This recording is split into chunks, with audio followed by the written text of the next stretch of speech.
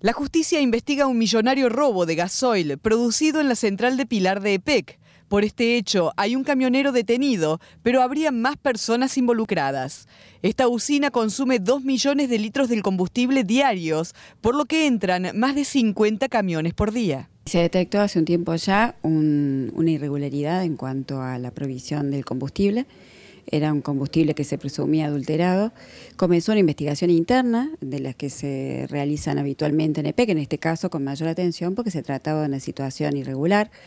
Eh, esta cuestión interna se derivó a la justicia, tuvo conocimiento de la justicia en un primer momento, hasta llegar a una situación puntual que tuvo lugar el 22 de junio, cuando se encontró un camión eh, realizando una operación atípica.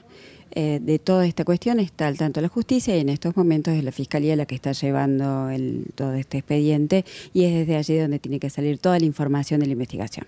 ¿Cómo era la maniobra que se realizaba? ¿Qué nos podés contar sobre esto? Esto es parte de la investigación, por esto es que no podemos dar mayores detalles. Eh, lo que sí detecta EPEC es que el combustible que llega a esta central está adulterado, eh, aparentemente en ocasiones con, con, agua, en otras ocasiones con glicerina, entre otros elementos.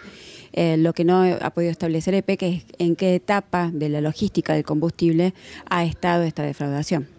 Hay una persona detenida ya. Efectivamente, es una persona que es ajena a la empresa. Evidentemente, tiene que haber un momento en donde podría haber una participación de personal de PEC, pero esto es casualmente lo que está dentro de la investigación judicial. Mariana, ¿qué cifras se están manejando?